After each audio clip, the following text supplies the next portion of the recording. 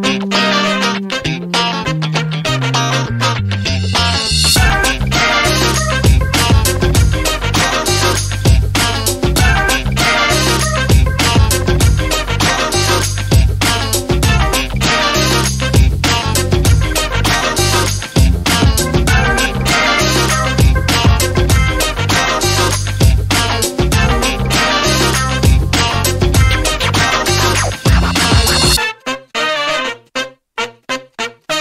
up nothing but static. Picking up nothing but static. Picking up nothing but static on Channel Z. Yeah. You want to pick up static? Yeah. Get yourself some uh, wool socks Yeah? and get some uh, glass rods and walk around and on uh, nylon or something and rub it and rub it. You'll be sh- you'll be picking up. No, some. you want to know how to pick up some static? Run across a perfectly flat golf course in a torrential thunderstorm, holding up The a two 10 iron. foot steel pole. You know no, what? It has can- to be longer than a If- if- mere uh, golf no, if you hold a two iron, you can say God can't even hit a two iron because a two iron's the hardest club to hit, right? Really? Yes, Why is that so hard to hit? because it's just a flat. I don't. You know what? If I knew that, I'd probably be Tiger Woods. Speaking of which, What? he tied the record for all-time PGA wins that was held by Sam Snead for about 50 years. No. 82 wins for Tiger Woods. And Sam Snead was the former record holder? And the next guy is Jack Nicklaus, 73. So it's Jack and Tiger at 82. Jack and, Jill went up the hill. to fetch a pail of water. Okay. What Anyway, we got so today? we got a big show today. We got lots going on. Interest rates moving up. Interest rates up. S&P record another record high of the. Uh, Yeah. Actually, it's the index of American industrial subsidization. There you go. There we go. How much money has been pumped into the U.S. corporate machine? And they're pumping money now. And they're not calling it QE. They're they got another way to say, oh, we're not doing that. We're, That's right. we're putting money in, but it's for different. Now it's called the repo market. They just said, hey, we've got this repo market over Yeah. here where we've got this other confounding thing. Let's just take that and we'll put it onto QE, and then everybody will think it's just the repo market. Business as usual. So the, the, the, the, the probability of a rate cut at the next, which I think is this week or next week, Rate cut. they're, they're, they're- it's 93% certain the Fed's going to cut the rate. 93% based on where the where the Fed is now, and yet we've seen the 10-year rate move magically up, like magic. Like how? Why is it going up? I don't Well, know. Well, maybe they're trying to normalize the curve. Normalize the you know, curve. You know, you want the longer term rates to be a bit higher than the pre the shorter term How are they going to do that if the long term, if the 10 year rate keeps bumping up higher? Well, that's but that okay, but that would normalize it because the Fed rate would be here, the the ten year rate would be up here, Oh. and that's what they want. But that would cause maybe that inflation's around the corner, which would be good for gold. Well, I, inflation's been here for 30 years. But it's all bullshit. It's all bullshit. It's- It's, just a bunch of bullshit. You know? Games. It's amazing we even take our time. Um, Yeah. First day of trading today for New Wave Esports, Yeah. NWES on the CSE. Traded over a million shares so far and up. It's uh, funny, my chart says it's up uh, 1,400% because it's trading at 14 cents. So, how does it get Well, to that because they, number? they, you know why? Because they, they, they, they, because this stock's never traded before. They're assuming the previous trade was zero. yeah, but 1,400% of zero is zero. It, it, it- more bullshit. More bullshit. But I think folks are starting to get the picture. Lots of bullshit out there. We chatted quickly with Daniel Mitrier just a little while ago. Here he is. Daniel Mitrier joins me now. He's the CEO and founder of New Wave Esports. Dan, welcome back. Hey, thank you very much. It's an exciting morning for us. Yeah, you bet. So you started trading, and uh, volume looks good. How are you? Uh, how are you enjoying the day so far? Well, it's been a wild ride getting up to this. Uh, it's been an early morning since you guys are three hours ahead of us. So trading for me starts at 6 a.m. Uh, but we're extremely excited. You know, this year the the team has worked really hard at building a incredible esports and competitive gaming portfolio, and we're excited to bring this live on the CSE. We're we're traded under the the uh, ticker symbol of NWES. And we also have some warrants out there trading under NWES.WT. Uh, so we're just we're extremely humbled by uh, the reception we're seeing so far, and just I'm personally very, very thankful for all the teams and the partners that came together to make this monumental milestone a reality for us. Yeah, you bet. Okay, so uh, let's run through the business model again just briefly. You're uh, basically acquiring uh, positions in other esports companies and uh, basically maturing them to uh, an exit in the future, correct? Yes. Uh, so New Wave Esports is set up into two pillars. So what you just uh, described is is kind of our acquisitions arm, and so we very much come through and we uh, we pick up companies. We bring in our expertise as as support services and advisors, and help build these companies into something that's flourishing and contributing to the esports industry. Uh, but we also have a holdings arm, and so we we we actually invest uh, cash checks into companies to help them grow, whether the early or mid stage. Uh, so we're all here. Uh, we're passionate about the esports industry, and we're growing it together with companies that know how to do it well. You bet. The esports industry is kind of new, especially when it comes to capital markets. So, I mean, there's not a lot of opportunities to invest in esports. There's not a lot of different companies, and uh, so I'm curious as to what is the what is the rate of growth of the number of companies that are going to be in the space in a year's time, for example, expected to be. I mean, the sky's the limit here. You know, like we're at the ground level of esports here within North America, relatively speaking. You know, compared to the rest of the world. Uh, we see deals, and you know, we see like anywhere from 12 to 20 deals every week or so. So there's a lot of companies that are out there that are looking to uh, contribute to the esports industry. Everything from teams to platforms, events to tools, all sorts of great companies that are very much pushing esports forward. So, look, I, I, couldn't put a number on how many companies to expect, but I, I, will say that you can expect to see much more companies jumping on the bandwagon as we figure out how to be profitable within esports. Sure. What kind of business models are you most attracted to within the esports segment? Well, uh, it really depends on our objective, right? So, New Wave Esports uh, has a diversified portfolio. We don't believe in just one type of company or one type of model because it really is an ecosystem and push esports forward. So, we invest in the ecosystem. We're building that ecosystem for sustainability. But some of the, the most interesting sectors that that uh, that come across our plate, uh, certainly teams. Uh, you know, there is a, a lot of hype and buzz around teams. Uh, but those that operate with a content programming nucleus in mind are ones that actually break through the static quite a bit because they have the audience exposure and they're able to build in uh, sponsorship dollars on that and build in great communities uh, that latch onto their messaging. So teams are certainly uh, pushing uh, esports forward, but also the rest of the industry. You, I mean, you've got esports events, you have tournament operators. These all operate within uh, their own nuanced sort of business practices, and then there's platforms and networks in which the rest of the world can connect online from the comfort of their own home, whether it's online tournaments or, or wage betting. There's a lot of different sectors and ways of operating being successful in esports. Mm-hmm. And New Wave uh, certainly invests in those. Sure. And so, was there a lot of demand for uh, New Wave as an investment itself? There's there's always a, a, demand coming in. You know, whether it's uh, an investor, retail, institutional, or, or, brokers coming in and wanting to fuel our business. Uh, but now that we're public here, the public can jump in on this uh, and certainly contribute to esports and invest in the esports ecosystem as we see it. You bet. All right, Dan, great update. Congratulations on coming to trade, and we'll be back to you soon. Thanks for joining me. Thanks, James.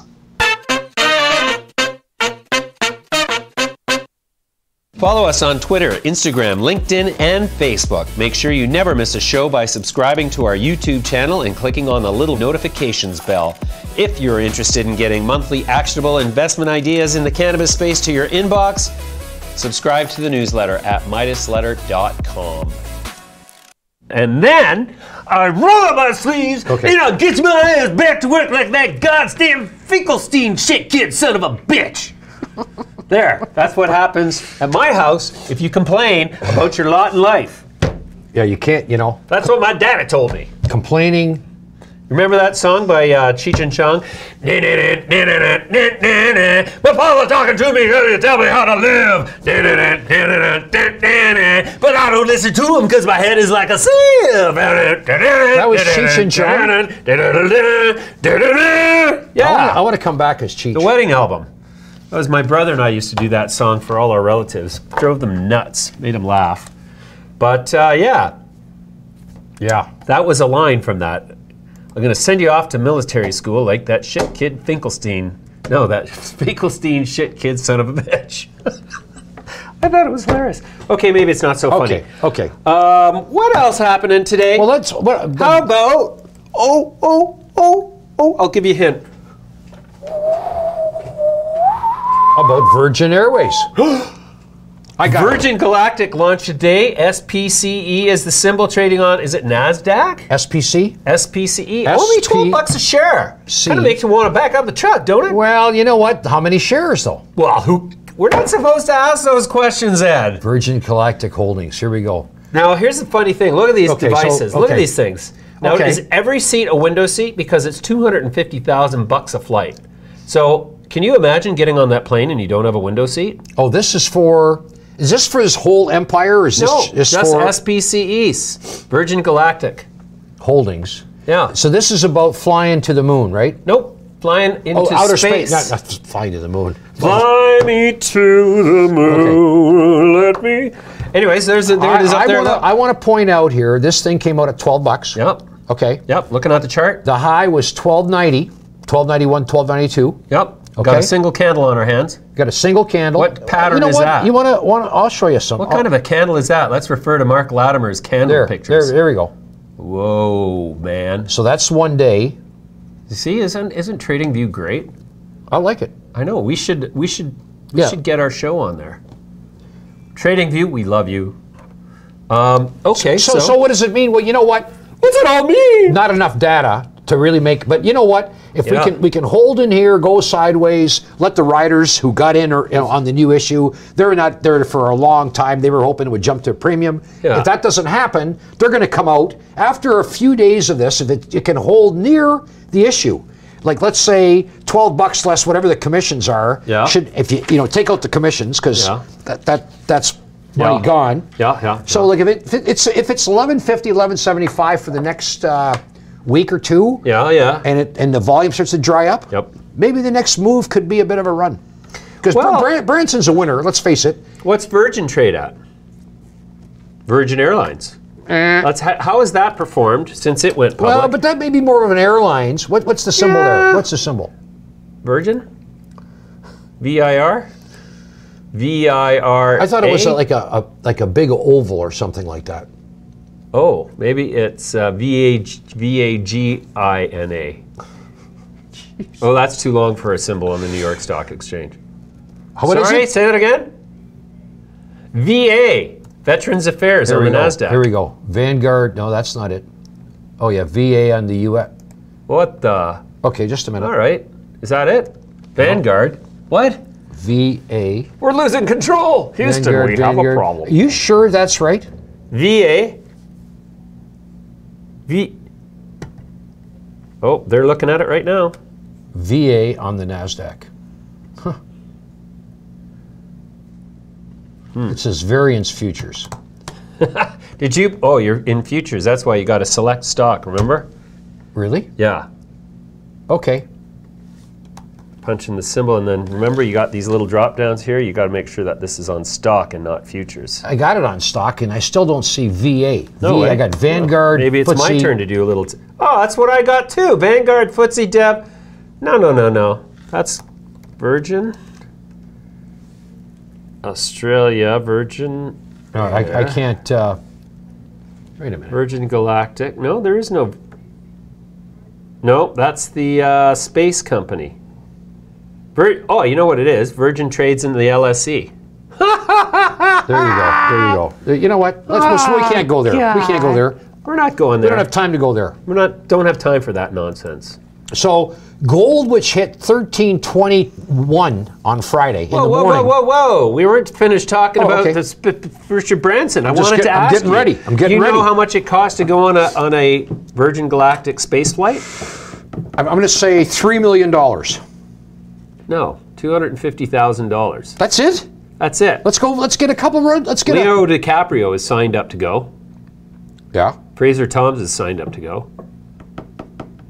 Hey, but what about the? Is every seat a window seat? That's what I want to know. If it's two hundred and fifty thousand bucks a ticket, and you get on that plane, and you don't, you got an aisle seat, or you, worse yet, you're So you in the go middle? into outer space for what? How long?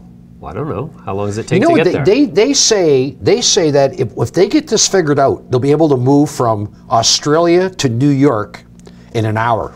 yeah, I heard that there was Because a. once you get into the thing that, that where there's no atmosphere, away she goes. I, I actually read that if you skip off of the atmosphere, you can catch a slingshot effect Yeah, yeah. off of the rotational gravity, and that gets you around the world in an hour. Well, you, you that's what they do to get pick up speed when when they send a ship down to Mars. What kind of G's are you getting on that? Jesus. Jeez. It's called Jesus G's. Jesus G's.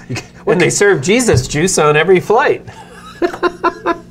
and you, you gotta everybody, all everybody, including the pilot and the stewardesses, go Jesus. never mind that, he's flying the plane. Jesus, fire up engine number four. Scotty, Scotty. Yeah, Okay. Scotty. biscotti, with your coffee. With Jesus juice. Jesus. Scott, biscotti with Jesus juice. Oh, what Boy, kind of don't. But when you get to Australia, you're going to have the shits. Well, you know what? Open the hatch. It'll be a holy shit. Holy shit. Jesus. Oh God. Okay. All right. Back to reality. Okay. What? Um, oh, you know what we have coming up on the show here today? David Kideckel is going to be here as promised from Altacorp. Altacorp is the uh, investment banking arm of the Alberta Treasury branch, which is uh, yeah a really cool enterprise. Anyways, he's their cannabis analyst, and he's going to be here. We're going to talk about Hexo, of course. We're going to talk about GW Pharma, and we're going to talk about uh, the weed industry in general. And then at a little later, we're going to have via Skype Gary Simons from Pure Life Carbon. That sounds interesting. Pure Life Carbon. What could that be? Well, you know what it is? Is it's actually, among other things, it's a growing medium for marijuana. I took delivery of four pails of it, and in my next crop, as soon as this round of ACDC is done, we're going to grow two plants in cocoa coir for the growing medium and two plants in pure carbons. I know how to spell quar. Well, C O I R. whoa, Is it pronounced quar? coir. Quar. But a lot of people say cocoa coir. Coir. Coir. Coir. That's a coir there. That's how you learned that from playing uh, crosswords. Anyways, so this this this this pure carbon thing is interesting to me because do you know how many tons tons now, not pounds, tons of rock wool is put into landfills presently by the cannabis industry? You know the cannabis industry has a pretty poor track record and quite an issue when it comes to environmental friendliness. Now, is that prior to going legal, or No. because there was no industry prior to going legal? It was it was no, a there was a, there was a quite a healthy I know, but it's industry. a, but it was it was sort of clandestine. Well, we were guilty of surreptitious, if you nothing more or less than single-use plastic baggies and a whole lot of paper. Yeah, Interesting. But we didn't kill anybody with bites. is, is there a lot of waste? I guess there's quite a bit of waste from an extraction plant. It's to get out, right? What would you do with that? yeah. You use it for uh, hemp, uh, fertilizer. fertilizer? I don't think that after you've uh, extracted that's that's a priceless look, Ed. Well, no, that's if you could package that look, that would be like close up of Ed's. Come on, Ed, give us that look.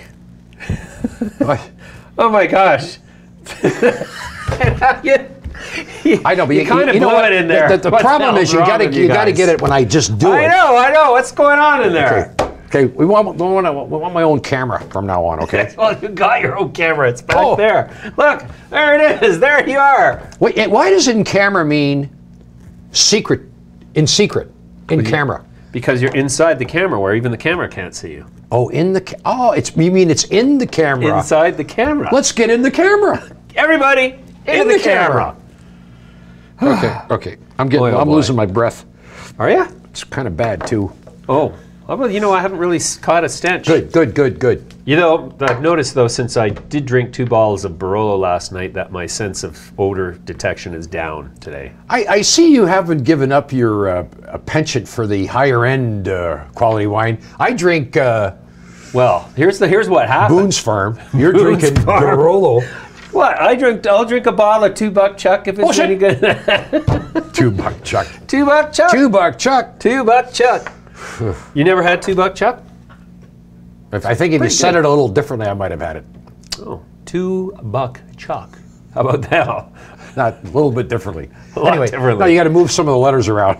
Never mind. Oh, never mind. two buck fuck. oh, No, you said it, not me Jesus! me. It's P okay, rated. Okay, okay. PG, man. Oh, Okay. You know what we haven't done, and we might not ever do again if we don't get our shit together here, is let's look at the cannabis business from the 50,000 foot level. And I'm not talking via Virgin Atlantic. Boy, somebody's calling me right now, which means some asshole actually is not watching the show. It's my friend from the West Coast, David Eaton, who does not take into consideration the fact that at this time we are live on the air. And you are too now. Hi, David. I'm I'm gonna call you. I'm gonna call you in 30, 40 minutes. Anyways, look at that. I had to take a call. Um, so yeah, markets are down well, let, let me let me take a look at and up. S- some are and up, some are down. down. You know- what? You know what's been on a tear is Tesla. Tesla. It's had two major days, Thursday, like that's all Friday. the cannabis we're gonna get today. Oh, okay. that's that's how we're gonna talk about cannabis. Three out of four indexes are down. Fuck it, we're not talking about cannabis Okay. today. Hit it. No. um, so yes, as I was starting to say, um, you will see that the three of four indexes are quite a bit lower. Uh, the Midas Letter Venture Index is down 2.51%. Midas Letter Large Cap Index is down 0.56%, kind of a meh, but still, oh, you know that uptrend is still intact. Uh, Small cap index is down 1.38%. That downtrend is intact. And the CSE index is actually up 0.36%, and that has an intact downtrend despite the up day today. So, if you wanted to know how to rock and row, you'd have to have been around when Ed was Can I really uh, giving her. can I can I put up a chart of weed for a minute? Yeah, why don't we start with a chart of weed? Okay. What are you seeing there? Look look at the one day chart here, and you know I'll tell you what I interesting. Just to, I picked this up, so you're seeing. wait a minute. Sorry. This this kind of a thing here, where you where you got a, da- a little bit of a descent. It's a pennant, okay? Yes. This thing's going to resolve itself either way, and I would say whatever way it breaks, there's probably a, a tradable move. Really? But I don't know which way it's going to break. But the do way, you way- think? eh, probably down. Probably down. Only You don't think that this market is sold off enough yet? I mean, it's not a mining industry, for God's yeah. sakes. That's going to just keep going down and down and down and I- down for a I- decade. I, look, look. The problem is so many people are in the bag. When I say in, the bag, bag. they're they're they're uh, I was in the bag on Saturday night. yeah. Are you in the bag? what do you mean in the bag? Like under the weather? Like in the in the red? I guess in the bag means you've over imbibed. You've landed in it. You're lying in the gutter looking up at the stars. I've done that before, only because I couldn't move. Anyway, so Curaleaf is up 1.57% to 713. Green Thumb Industries is up 1.29% to 1174. Harvest Health and Recreation 3.13% up. Now, just wanted to quickly touch on. Uh, don't know whether you noticed the press release last week put out by Cresco and Origin House, but. Uh, the Department of Justice has allowed the waiting period for them to move forward with their merger to expire, indicating that they can go ahead with their merger. Now, this is significant because Harvest Health and Recreation has three of those things pending, and if they all expire without comment, that means Harvest Health and Recreation can consummate its three transactions that were stopped by this and will become, in that one fell swoop, the largest multi state operator in the world! In the world! Anyway, so Wow. and it's been beat up badder than anything, man. It's just lying there like a stuck pig, jet trash. Never mind. You know, when, when, when you get an index, Hey, anyway, I'm, I'm going to jump gears, change gears here, and I don't want to do that on you. But uh, Oh, sure, no, I don't mind. well, look at the S and P all-time high. Yes. Never been higher. S and P. Look at this. Look at this. Wow, Well, you know what? I want to get. I want to get up my. Uh, looks like it's climbing the stairway to heaven. This is a this is the the chart I've been following here for some time. There was the old high. There was a failed test, more failed tests, and then today through. So we're now broken out, and as long as we clo- we don't close below, this thing's probably going higher. So I don't know what, where it's going to end up, but a lot of people feel that it's already inflated. And so the higher it goes, the more inflated it's going to get. And if we get any bad news, It's coming crashing down. You, you know, you know what? You, you got to be so careful. Eh? It, it looks like so many times this thing was going to cave in, and it, here we are, all-time highs. Yeah, but yeah, okay. But but but to move this thing, you need enormous amounts of money, Enormous amounts of money.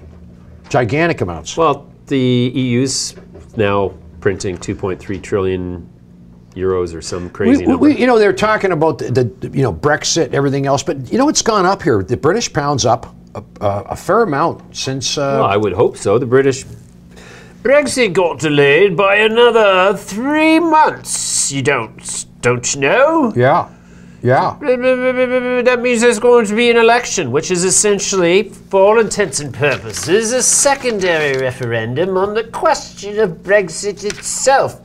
A victory handed to Boris Johnson and his lot would be a resounding endorsement of departing, whereas any other outcome will be the opposite. There's a three-month chart of the uh, the pound versus the dollar, and uh, you know you can see here in the last month something's changed. Uh, I don't even, I don't understand all this uh, all what why the whys, but there was a bottom, and then we've had this sharp rally, and now we're sort of digesting it a bit. But about about a seven, five, six, seven percent move, depending on you know whatever. So those are big currency moves. The U.S. dollar's been getting weaker, hence the move in gold. Ah!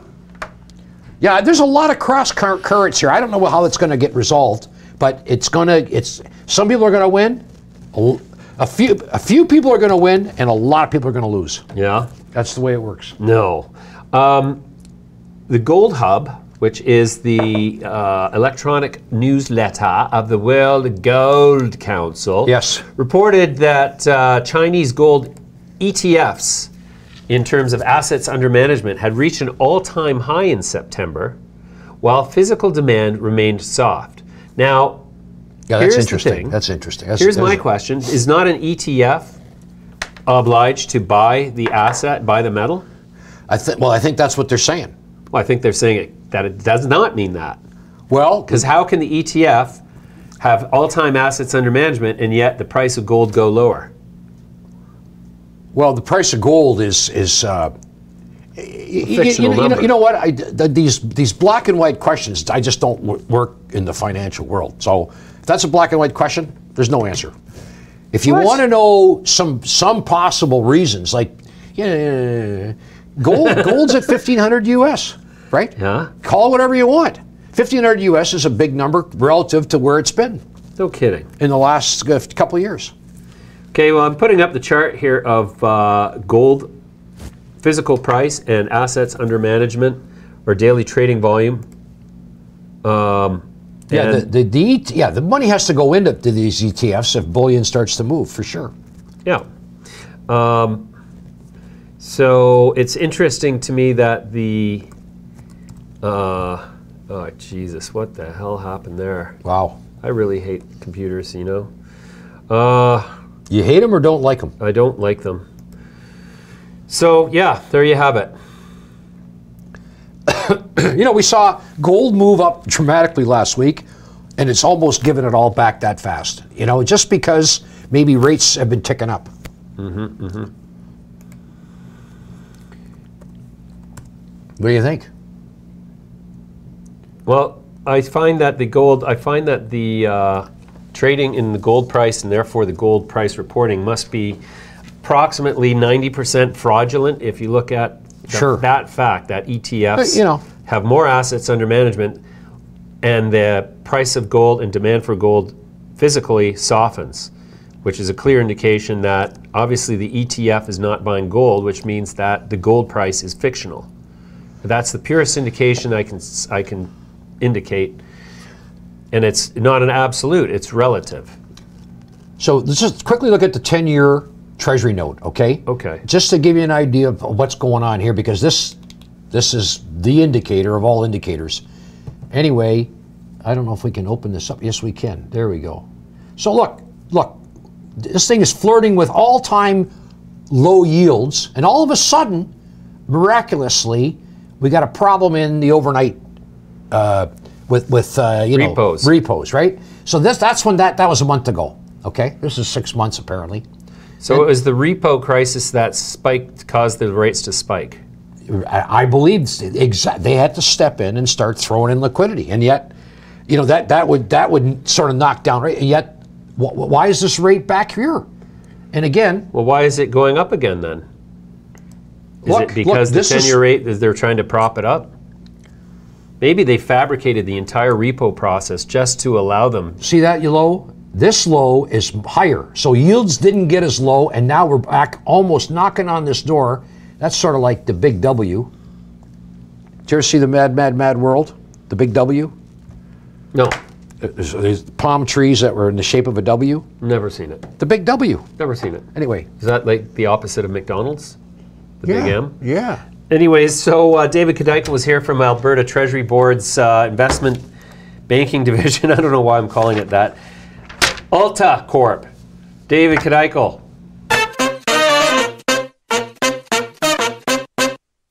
I'm joined now by David Kideckel. He is managing director and research analyst at AltaCorp, covering healthcare and life sciences. David, welcome back. Thanks for having me, James. Uh, David, the uh, bear market in cannabis, how has that affected your outlook on the space? Yeah, so I think you'll see a lot of analysts. We've taken a, a more bearish approach on the markets given the, the downturn we've seen over the last uh, several months, and there's and there's likely good explanations for uh, this a big uh, part of the bear market. In fact, we just put out uh, some research a couple of weeks ago uh, for the legalization uh, 2.0 derivatives. Uh, a big part contributing uh, to the bear market now, as you've seen in the U.S., a lot of uh, vape pen illnesses reported, which we feel is anecdotal.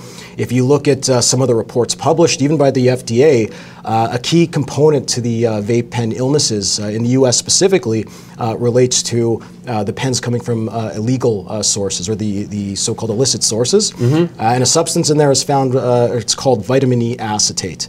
We actually feel, uh, turning to a bull perspective a little bit, that the Canadian LPs uh, that, that play by the rules, um, those are the ones that are going to be the winners um, in the medium to long term. So all this to say, James, um, in a long-winded way, yes, absolutely, we're in a bear market right now, uh, but we continue to have a very positive outlook uh, on the space uh, for the medium to long term. Okay, great. One of the uh, areas, and I'm going to mention one of the names that I know you cover, uh, who's sort of the sector that's really been forgotten in the bear market is the biosynthetic cannabis uh, companies and GW Pharma, who is at the sort of the top of the pharma food chain in cannabis pharmaceutical, is is also exploring bi- biopharma sources for its stuff. So, what can you tell us about the biopharma industry at this point? Yeah, no, it's a great question, James. And unfortunately, GW has been taking some of the hits with some of the other cannabis companies over the last uh, few months. I think uh, we've talked about before. So we're the only firm in Canada to actually cover GW Pharma. In fact, I'll be at their head office in, in a couple of weeks.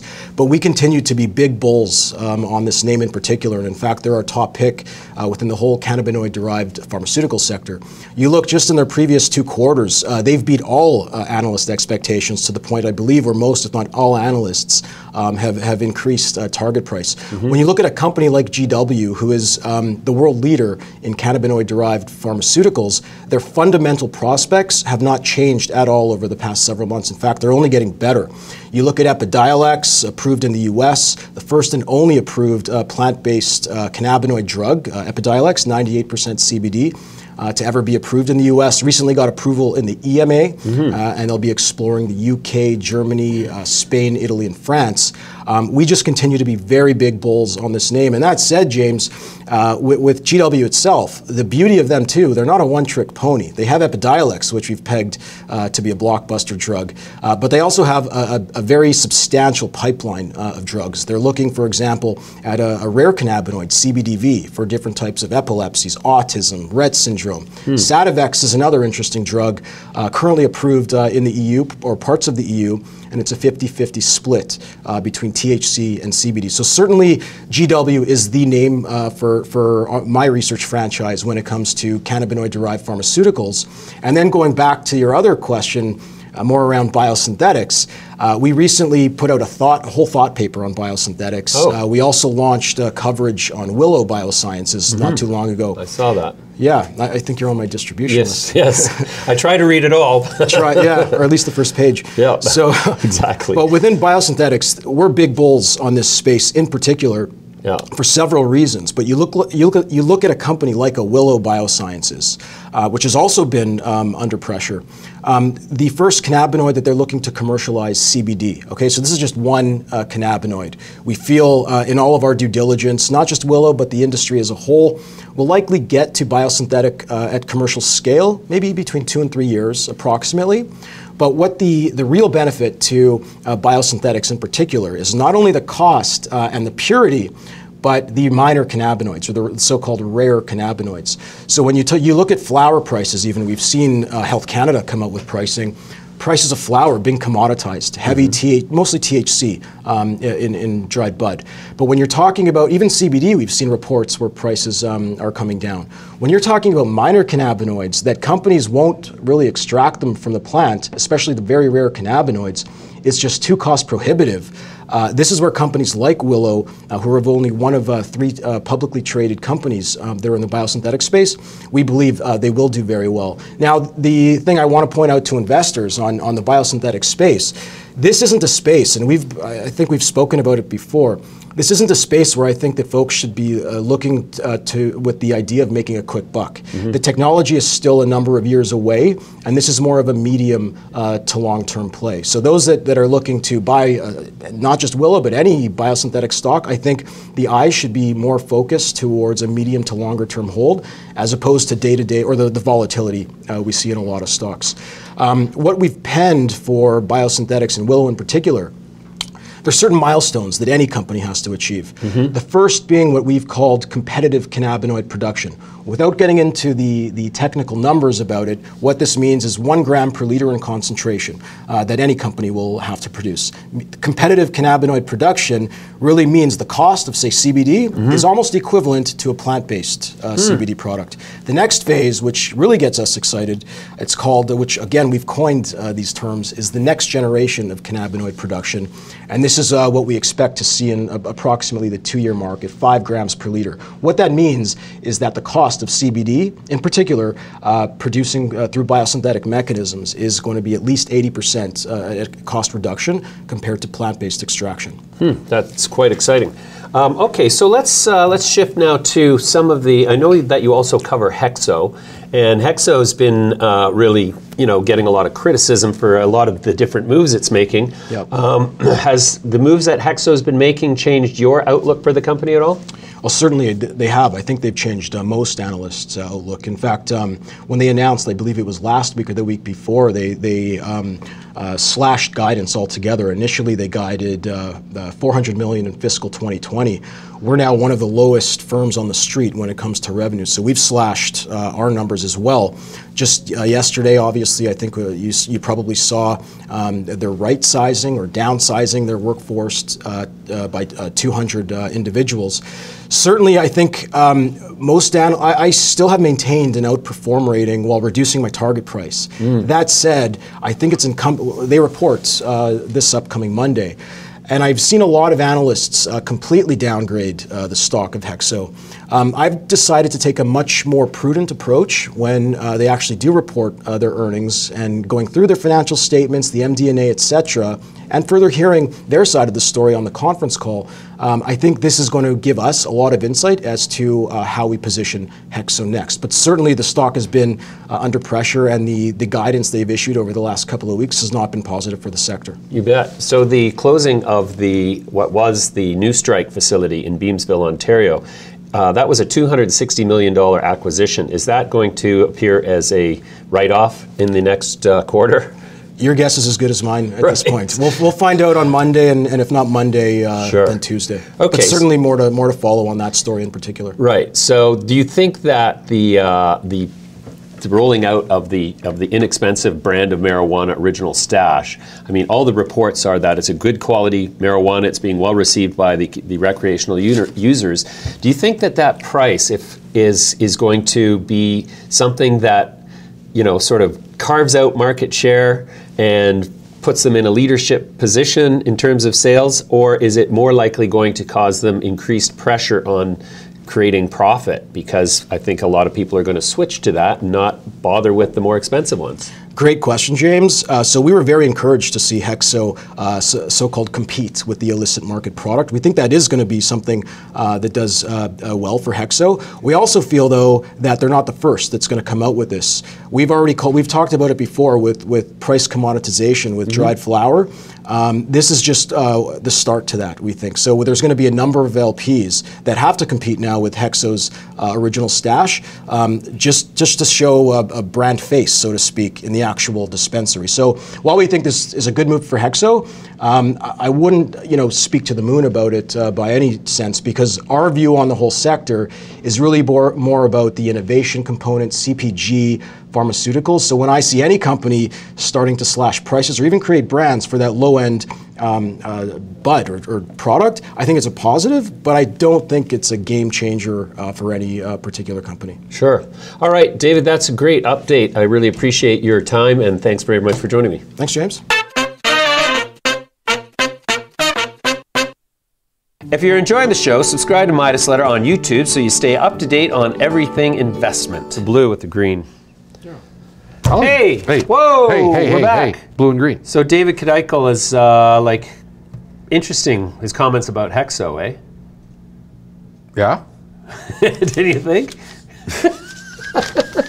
oh, you didn't have got your. me. You didn't You have your. got- you dirty I saw rat. your You earpiece dirty rat. in. I thought you were listening. How can I 'Cause be we weren't listening? You're talking. listening to you over speak.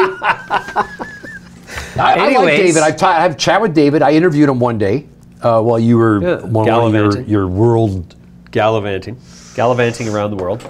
Um, how'd you like to go to Los Angeles this week? This week. Yeah, What day? tomorrow. Tomorrow? Yeah. What do you think? Anyways, um, do you remember uh, Mrs. Robinson, the song? And here's to you, Mrs. Robinson. Jesus, Jesus. Hey, hey, hey. Yeah, Poltergeist. What? Um, so Gary Simons from Pure Life Carbon was here, and this is very interesting because this is, can solve a lot of the waste problems associated with the cannabis space. Check this out.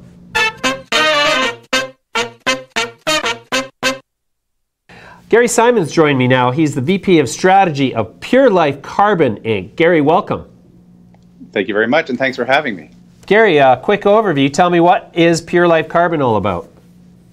Well, literally about carbon, as the name would indicate, we essentially produce a form of biochar, an advanced form of biochar.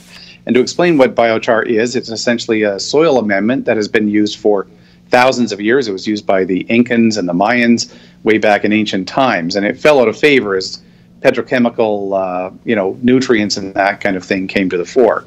So what we've done essentially is we have created a biochar that isn't just a soil amendment. It can be used in soil as growing. So, for example, if you're growing a cannabis crop in Canada, which is becoming increasingly popular, obviously, uh, then you could substitute something like rock wool or peat moss or what's called coco coir uh, with our biochar. And there's a number of advantages to that. You tend to get higher yields, you get less crop loss. Uh, it also stores carbon, so when you're done with it, you can actually use it as a soil amendment, put it into the soil, and it will not only use, uh, you know, improve that soil, but it will also store carbon dioxide, which you know improves the global warming situation. And in fact, uh, the UN panel on climate change has said that biochar is the only technology currently available that can viably reduce the impact of global warming. Mm-hmm. Interesting. So I'm obviously going to try this out as soon as I can because I'm growing uh, my regulation permitted four plants and I'm growing it in coco coir. And uh, so that's, that's going to be an interesting uh, experiment. Now, there are reasons that um, big big sort of cannabis companies should be looking at this, and foremost amongst them is the uh, environmental cost of using uh, things like, uh, particularly rock wool. And maybe you could outline how the cost of using rock wool compares with the cost of using uh, your product compares over the longer term. Sure. So, for example, we've been working with a uh, facility in Alberta they've put our product uh, into their facility and side by side with Rockwool. Now, the Rockwool costs them somewhere around you know nine or ten dollars per plant. Uh, ours costs about twelve dollars per plant all in. The biggest difference, though, is in the ease of use. Ours is easier to use in general. Uh, the fact that um, with Rockwool, really in Canada, you dispose of it. You know, it's going to go to the landfill and it's going to take up a lot of space. It's not going to degrade, and so it becomes a bit of an environmental hassle right now. Um, ours, on the other hand, you can send it back to us. We will process it, and it can be reused completely, not just recycled, but reused. So that takes care of one problem. The other thing too is, of course, the sequestering of carbon, which is a, a net positive and uh, will probably help you down the road with your carbon tax credits, which really cannabis companies aren't getting right now. Uh, but the big thing is that just in terms of yield, we're seeing really impressive gains with yield. Uh, so, for example, in that one facility, we saw roughly about 13% on average yield increase per plant for flower, which of course is the important part. Um, in addition, the plants were ready for harvest sooner, and, and according to the grower, about two to three weeks sooner uh, than you know with a with a standard rock wool blend. And so what that means in terms of increased yield, when we calculated it out, was about 23% increase in yield just for that. And we calculated roughly about a 47% increase in yield for that particular facility. And that that obviously means increased revenue, increased profit, and a much lower cost of production. So those are pretty solid reasons to make a switch. Yeah, especially when I think that the uh, the cost per unit to establish a plant does not generally include the cost of disposal of things that are ultimately toxic like rock wool. So that to me makes it very attractive. Now, um, are there any downsides to this stuff relative to the incumbent favorites, rock wool, lava, coco coir? Not really. I mean, coco, interestingly enough, the same people that were behind coco in the beginning are the same people that helped develop this technology. And, you know, coco has some advantages uh, for sure. It's very lightweight. It's uh, it it doesn't have as serious a, an impact on the environment, but it's not a sterile medium, and that's the big difference between coco and then rock and biochar you know, biochar and rock wool are both sterile mediums, and that's why people have been switching to them. But again, with rock wool, you do have these disposal issues, and in Europe, it's pretty highly regulated. You know, they're a much more crowded environment in Europe. Um, they also have a lot more greenhouse growing. For example, the Netherlands, it has so much greenhouse growing that that small country is the second largest exporter of food in the world by dollar value. So they have a lot of rock wool to, to dispose of, and uh, they basically have to recycle it, find some way to reuse it. And often they will just ship it out. It has to be made into things like something similar to a concrete block or into insulation, things like that, all of which is adding to the cost of using rock wool. Uh, ours, on the other hand, is just completely reusable. And that that really is one of the major differences. Sure. Okay. Can you tell me as much as you can without giving away any company secrets as to how is this how is this carbon black made car- or this this charred carbon? How do you make it? What are the inputs? What are the what are the environmental impacts of producing that itself? I am going to be, unfortunately, quite cagey. I, I, hate to say that, but I am going to be a bit cagey. But essentially, in very general terms, we take biomass of a type that we don't even talk about. We then use a process called pyrolysis, which is essentially we heat it in an, an anaerobic, or in other words, an environment without oxygen. So we heat it, and then it turns into something that looks a lot like charcoal. Uh, now, there's biochar and there's biochar. Ours is made so that it's very hard and it does not degrade. And to think of it, think of plastic, for example. You know, there's lots of kinds of plastic. On the one hand, you could have a space age plastic that is very hard that you could use to make the exterior of a, say, an automobile. And then you have, for example, styrofoam, two very different plastics. Same thing with bio with biochar. Some biochars are very soft; uh, they degrade very quickly. Think of, say, charcoal in a campfire you know, you pour water on it, it just turns into mush. Uh, this particular biochar is so hard that it can endure for over a thousand years, and it can be reused over that period. It can be re-sterilized uh, and then you know recharged with nutrients or probiotics depending on the use, and then put back into action either in the soil or even in a soilless medium growing situation again. Um, now, what we do after the initial biochar is made, we run it through a purification process essentially taking out any possible heavy metals or anything like that. And then finally, we charge it with various things. So if certain nutrients are required within the, uh, say, a greenhouse growing environment, we add that to the biochar. Uh, biochar is interesting too. Think of it as a sort of a hard sponge. It has a has a you know a, a, to give you an idea, a square meter of our material has ten thousand acres of surface area. So it can hold a great deal of water and a great deal of nutrients in a very small amount. Mm-hmm. Okay, and finally, uh, how can investors participate in this company should they uh, determine that this is an appropriate investment for themselves? this is a very early stage invest- investment. It's a private company. This is a private placement. Uh, we're currently working with a group. It's actually a group of farmers that have uh, their own uh, fund. So it's a, a, large group of farmers that have their own fund, and they're they've committed uh, essentially about a 1.5 million. Uh, we're filling out the rest of the million dollars in a 2.5 million dollar round, and essentially they any investor who would have to be accredited by the way or an institutional investor or somebody of that nature because it is a private placement uh, could just contact me personally, and I'm kind of guiding that charge. Okay, great. Gary, that's a great introduction to the company and the product. I will look forward to using it. and uh, we'll talk to you again soon before you go public. Thanks for joining me today. Absolutely. Thank you so much. Follow us on Twitter, Instagram, LinkedIn, and Facebook. Make sure you never miss a show by subscribing to our YouTube channel and clicking on the little notifications bell. If you're interested in getting monthly actionable investment ideas in the cannabis space to your inbox, subscribe to the newsletter at MidasLetter.com. Hey, everybody, how's it going? Hey. Whoa, hey, well, psh, wake up, wake up. Wakey, wakey. Wakey, wakey. Hands off, snaky. That's that's if you got boys, right? That's what you say. wakey, wakey, hands off, snaky. Right. What do you say if you got girls? Careful. wakey, hands off, snaky. Just saying. Wow. Whoa. Whoa. Whoa. Older, older girls. Hashtag older them girls. too. Yeah. You, you, know what? You know, I find the whole hashtag Me Too thing interesting, and I'm not trying to undermine the seriousness right, of, right. of the uh, abuse against women and decency generally, but uh, are there no instances like not a single one of a man being, you know, sexually assaulted by a woman? Yeah, well, there was.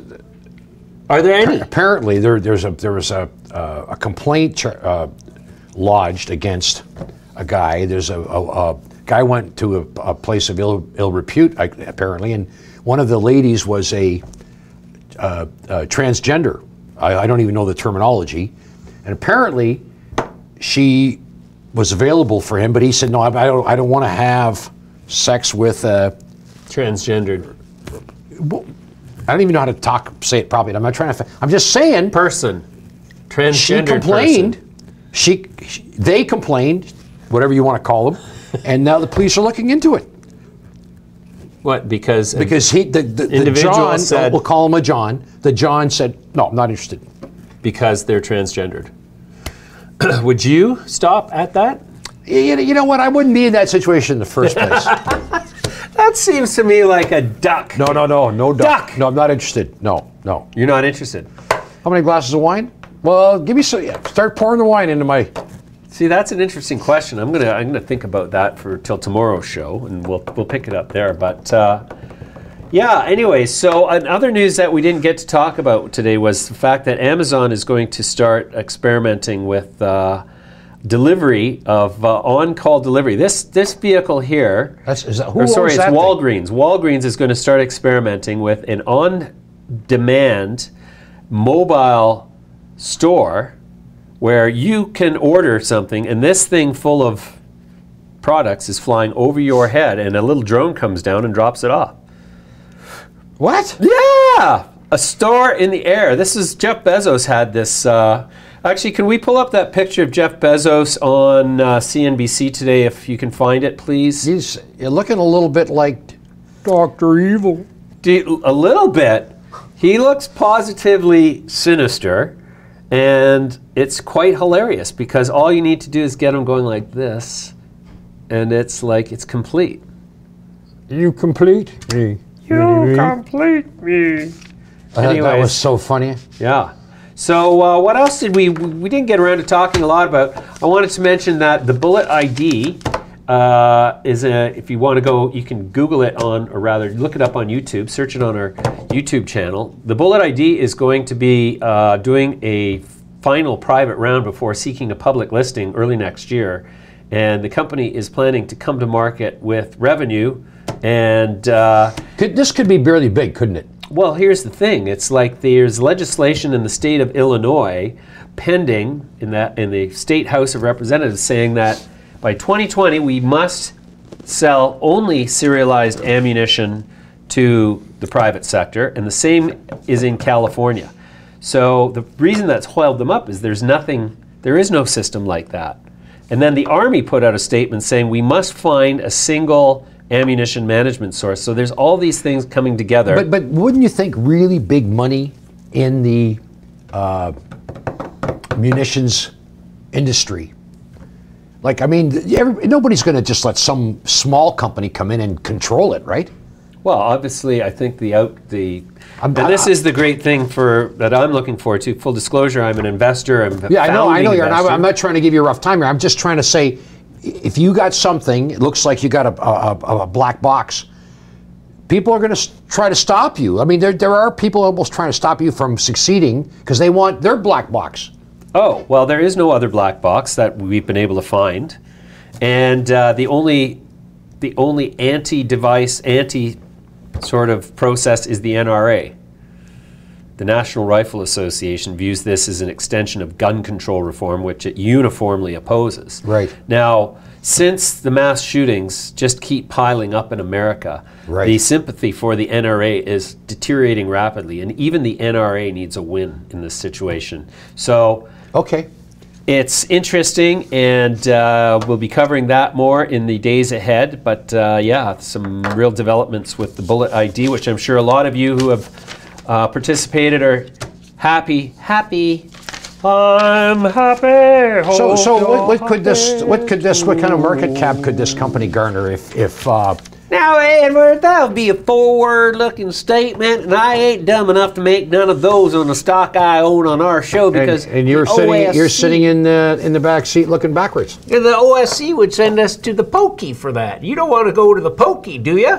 Then you the- won't have any choice about having when you sex with a the- you- transgendered person because they're going to have sex with you whether you want to or not. Then it'll be a different not. kind of pokey. It'll be pokey, all right. Pokey hokey pokey. Pokey pokey, you're going to need a whoopee cushion after that. Well, boy, thank God it's four o'clock, eh? This is over. Thank God it's over. See you all tomorrow.